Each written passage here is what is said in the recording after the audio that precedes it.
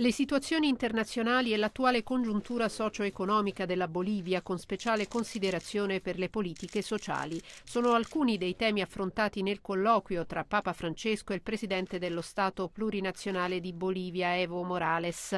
Nel corso della visita, rende noto la sala stampa vaticana, ci si è soffermati sulle relazioni tra la Chiesa e lo Stato, evocando la lunga tradizione cristiana del paese e il decisivo contributo della Chiesa alla vita della nazione. Riferimenti anche a questioni di comune interesse quali l'educazione, la sanità e l'aiuto ai più poveri.